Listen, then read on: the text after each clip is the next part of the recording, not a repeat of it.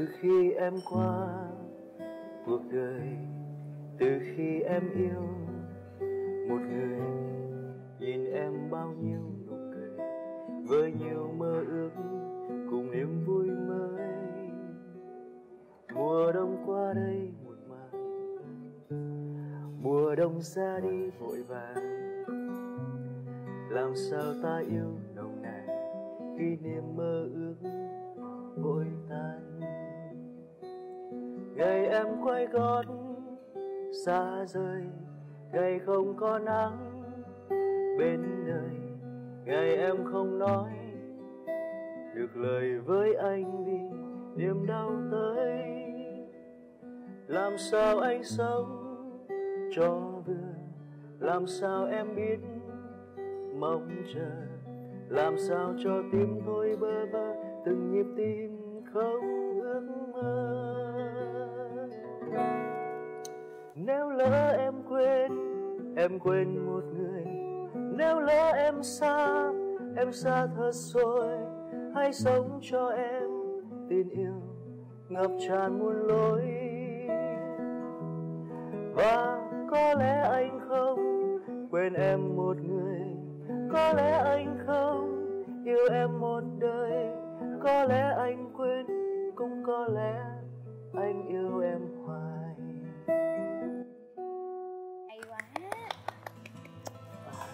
Lần đầu tiên em được nghe một bạn nam đánh guitar cho em. Và người đó không phải là sinh viên Ừ. người đó là một ca sĩ. Đây là cụ học sinh. Người tiếng Việt trời phải nói là em hơn nhiều bạn nữ nhờ. Mà hy vọng là sẽ thích. Dạ em Ok. rất thích. Trời cảm ơn anh Ừ. rất là nhiều. Nói chuyện cho. Này không rớt nè có vẻ như là anh em ăn ở đây nhiều lần rồi ha Ừ, cho nên là em thấy là- anh rành quá. Đây là một chỗ mà anh cũng thường nghĩ đến với bạn bè. Dạ. Không biết là từ sáng giờ mình tham gia rất là nhiều hoạt động cùng với nhau. Ừ. đúng nghĩa là 24 giờ thử yêu luôn. Với là chúng ta làm mọi hoạt động đều chung với nhau hai người hết. Thì không biết là đến giờ phút cuối này gọi là giờ phút cuối cùng của trận đấu thì không biết là cảm nhận của anh như thế nào về em? Cái những mà ba cái thói ba cái tật xấu mà lúc chiều mình có uống một chút vang mình nói về nhau còn hay không? Ừ. hoặc là bao nhiêu phần trăm còn bao nhiêu phần trăm? Lúc đầu anh gặp em Anh cảm thấy là đây là một cô MC Rất là chuyên nghiệp. Nó cũng có vẻ là nó không có gần gũi lắm. Nhưng mà càng về sau anh lại càng thấy em dễ thương. Đó đây là một nét dễ thương thật sự đó bạn. Sáng giờ thì không thấy cái cái cái một biểu hiện gì đối với mà mà nó khó chịu với anh hết á. Rồi ờ, hơn nữa là em rất duyên dáng dễ thương. Em nghĩ thế nào về anh nào? Ngay bây giờ em nghĩ anh là một người à, vui vẻ hài hước. À, với em thì hình thức bề ngoài nó không có quan trọng ừ. bằng cái tính cách cái cách nghĩ của một con người. À, người ta hơn nhau cách nghĩ thôi. Nên là à, em cảm thấy với em anh rất là lớn anh như một người anh lớn rồi đó. Anh rất là trưởng thành về mọi mặt. Như là anh lớn em rất là nhiều tuổi nữa. Em đừng có nói điều này nhiều quá được không vậy? Tuổi tác chỉ là con số thôi mà. Tuổi tác chỉ là con số đúng thật.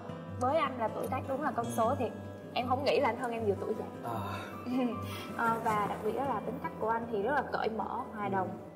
Có nghĩa là mình chỉ lạnh lùng cái lúc đầu thôi tại vì mình chưa tiếp xúc nhiều nhưng mà nhiều khi em nghĩ á cũng vì cái lần đầu đó cái cái cái cái, cái buổi ban đầu mà mình tiếp xúc với nhau á nhiều khi mình làm lỡ mất một vài cái cơ hội nào đó chẳng hạn Ừ. nếu như mà à, ngày hôm sau ngày hôm nay anh có thể thay đổi được điều đó thì em Ừ. nghĩ là ờ, anh trong cuộc sống anh sẽ có nhiều niềm vui hơn Ừ. có nhiều bạn hơn nữa khi mà mình thay đổi được cái à, cảm xúc ban đầu khi mà mình tiếp xúc với người lạ ok Dạ, đây là tại vì theo em á là trong cuộc sống á thì đôi khi á, chúng ta lướt qua nhau chỉ có mất 3 giây thôi Ừ. và nếu như trong 3 giây đó mà mình không để lại cái ấn tượng gì đối với người đối diện chúng ta dễ lạc mất nhau lắm Dạ, cảm ơn mc đúng là như em nói thì cái với vẻ ngoài mà khá là kiểu xa cách như anh á, Dạ. thì sẽ đánh mất nhiều cơ hội để được làm quen với những người Dạ. khác có thể là công việc tất cả mọi thứ thì anh sẽ lưu tâm và anh sẽ thay đổi để xem sau bao thời gian thử thách à, trải qua biết bao nhiêu rồi là trò chơi hành xét hành hạ tinh thần nhau thì hôm nay anh với em. Thức sẽ là đọc tốt. Bye bye cái